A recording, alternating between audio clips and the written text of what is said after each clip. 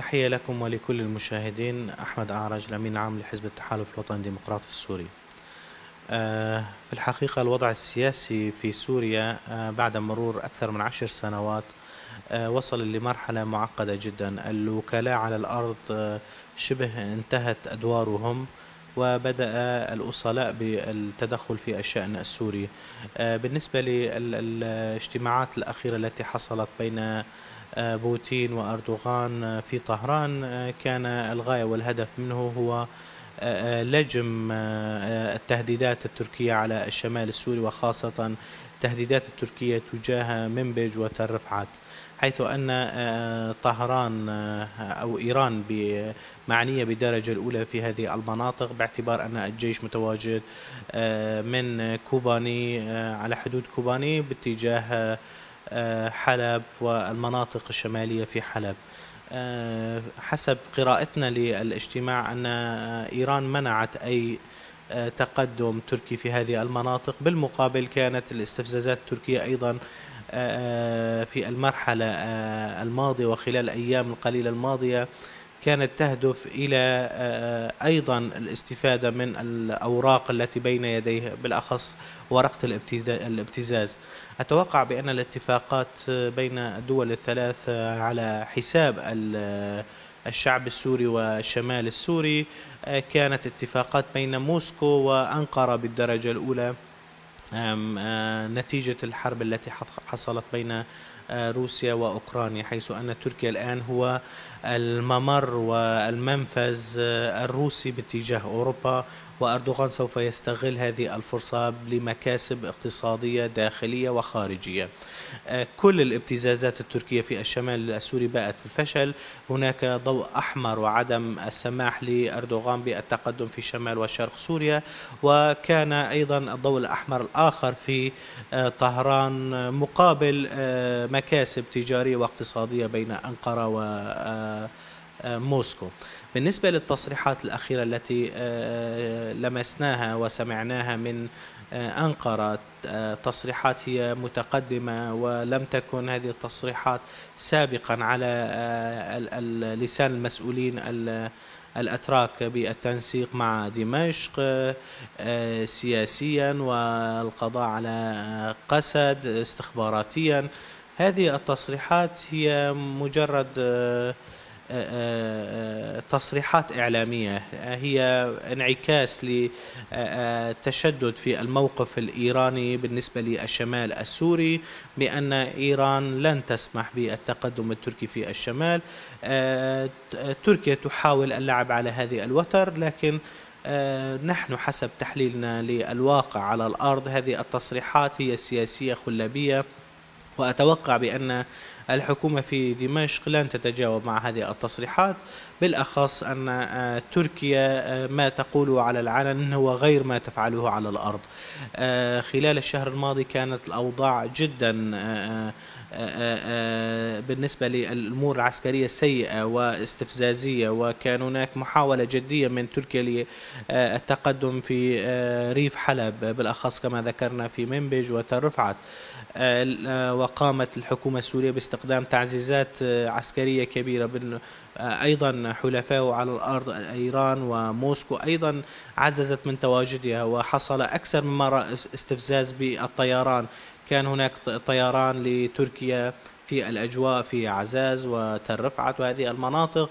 بالمقابل موسكو أيضا سيرت الطيران مقابل الطيران التركي. كل هذا كان قبل وبعد الاجتماع الذي حصل في طهران أي بالمجمل أن التهديدات الأخيرة ربما فشلت. لا تزال إلى الآن هناك تهديدات لكن بالتهديدات بالاجتياح هذه التهديدات قد تم تأجيلها أو فشلت.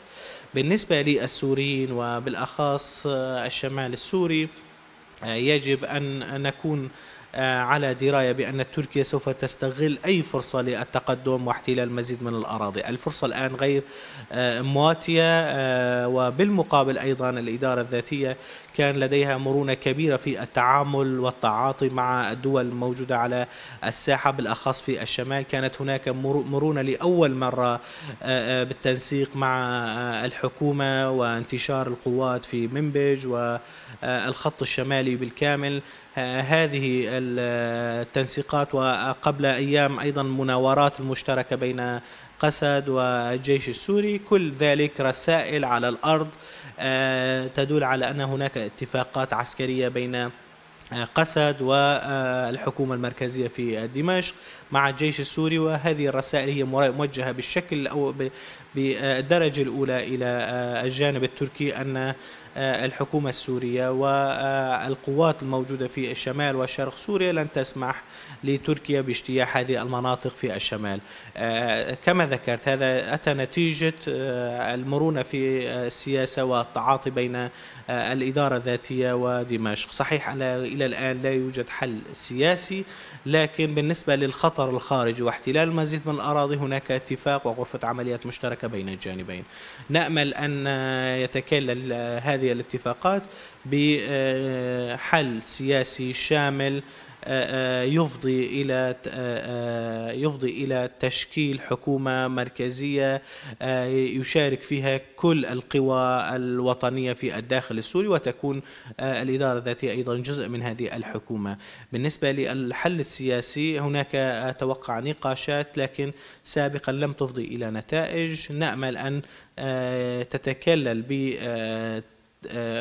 أيضا بحضور إيجابي للقوى الوطنية الأخرى ليس فقط الإدارة الذاتية والحكومة المركزية أيضا هناك قوى سياسية يجب عليها أن تقوم بالتأثير على الحكومة المركزية وبالمقابل أن يكون هناك تنازلات من الطرفين من أجل الجلوس إلى طاولة الحوار الداخلي وبدء بمؤتمر سوري شامل يفضي إلى حلول سياسية وبالنتيجة ينعكس ايجابا على كامل الشعب السوري باعتبار أن الشعب السوري في الطرفين بالنسبة لمناطق سيطرة الحكومة وأيضا مناطق الإدارة الذاتية. هناك معاناة نتيجة الحرب وهناك أيضا معاناة نتيجة الحصار. بالنسبة للحصار المفروض على الإدارة من خلال المعابر من خلال الضغط التركي. وأيضا هناك حصار مفروض على الحكومة في دمشق من خلال قانون قيصر. في حال أي توافق سياسي بين الأطراف الداخلية سوف يفضي بشكل أو بآخر أيضا إلى كسر الحصار على الشعب السوري. السياسة التركية نعود إلى السياسة التركية. السياسة التركية لن تكل ولن تمل لأن هناك ضغوطات داخلية على الحكومة التركية والنظام التركي.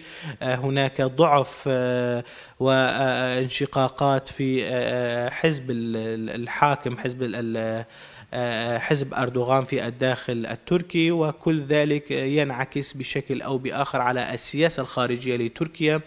الآن تركيا تستغل الحراك الدولي وخاصة الحراك الأمريكي للتواجد الإيراني في سوريا والعراق وخاصة في العراق. ونشاهد بأن تركيا تستغل هذا الحراك وتحاول ملء أي فراغ ينجم عن أن الضغط على إيران. التركيز الأخير للدول الغربية في المنطقة هو تجيش الدول العربية وإحداث تنسيق بين الدول العربية وإسرائيل ودول المنطقة ضد إيران وتركيا سوف تستغل أيضا هذا التجيش بملء الفراغ. نشاهد يوميا هناك تدخلات للجانب التركي في العراق. باعتبار أن أمريكا هدفها الأول إيران لذلك تستغل تركيا هذه الظروف الإقليمية أيضا بالتدخل في الشان العراقي. ولن توفر جهدا في حال حدث ضغط على الوجود الايراني في سوريا. أيضا تركيا سوف تحاول استغلال هذه الضغوطات لإحداث مكاسب لها في الخارج.